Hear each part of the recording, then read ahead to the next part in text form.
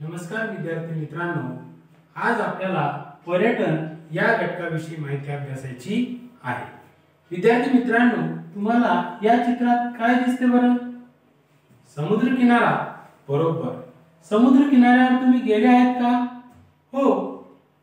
या ठिकाणी तुम्हाला कसे वाटते? खूपच छान. विद्यार्थी मित्रांनो आता या चित्रामध्ये तुम्हाला काय दिसते? मंदिर मस्जिद गुरुद्वारा चर्च बरोबर. ही आहेत धार्मिक स्थळे.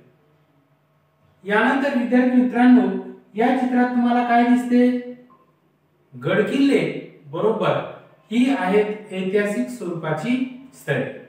आपल्या देशामध्ये नैसर्गिक धार्मिक ऐतिहासिक अशा अनेक प्रकारची स्थळही आहेत.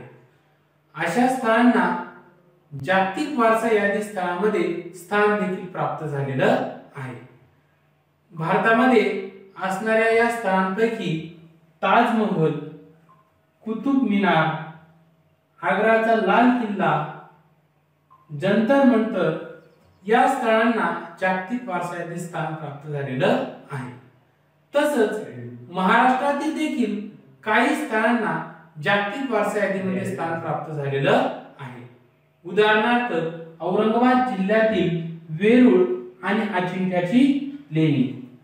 तसंच मुंबई या ठिकाणचं छत्रपती शिवाजी महाराज टर्मिनल त्याला आता सीएसटी या नावाने ओळखलं जात.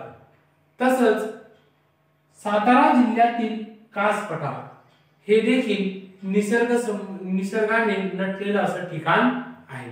तर या ठिकाणांना जागतिक वारसा यादीमध्ये स्थान प्राप्त झालेलं आहे.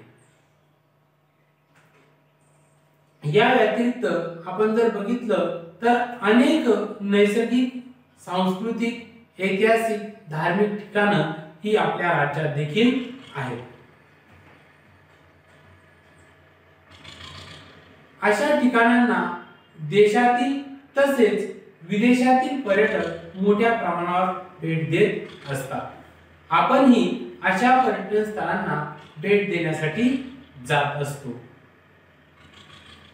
या या पर्यटन स्थळांना भेट दिल्यामुळे आपल्याला आनंद मिळत असतो मनोरंजन आपलं होतं. त्याचबरोबर इतिहासाविषयी तसंच आपल्या संस्कृतीविषयी आपल्याला माहितीही होत असते. या व्यतिरिक्त आपण काही कामानिमित्ताने व्यापारानिमित्ताने तसंच आरोग्यविषयक सेवा सुविधा उपभोगण्यासाठी खेळांच्या विविध स्पर्धा पाहण्यासाठी देखील एका ठिकाणाहून दुसऱ्या ठिकाणी जात असतो. अशाच एका ठिकाणाहून दुसऱ्या ठिकाणी जाणे यालाच पर्यटन असं म्हणतात.